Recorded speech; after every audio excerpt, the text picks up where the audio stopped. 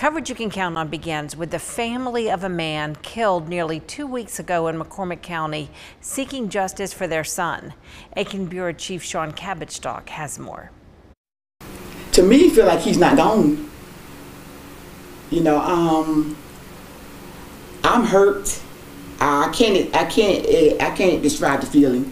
Wanda Foster and Freddie Young remember seeing 25-year-old Billy Watson Jr. the day of the shooting. Before BJ walked out the door, he told me, "Mama, I'm Mama, I'm gone.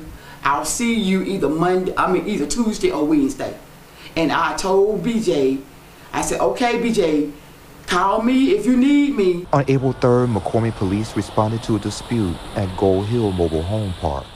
As my phone kept ringing, I started feeling scared, like something had happened, but I didn't know what it was. He was shot once and taken to the hospital. It was really bad, and his brain was dead.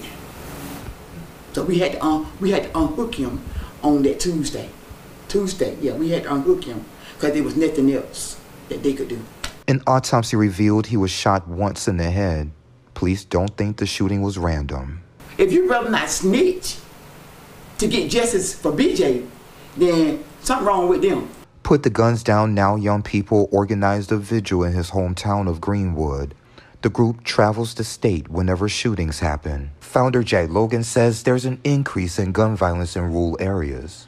There's nothing for people to do to attract them with something more positive, constructive, positive, you know, something to do.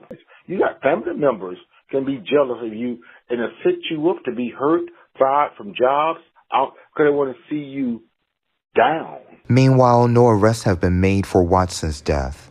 Authorities say they have people of interest. I want everybody that was that was involved with setting it up. I want them locked up too.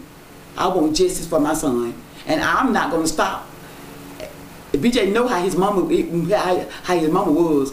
In Greenwood, I'm Aiken Bureau Chief Sean Cabbage WJBF News Channel 6.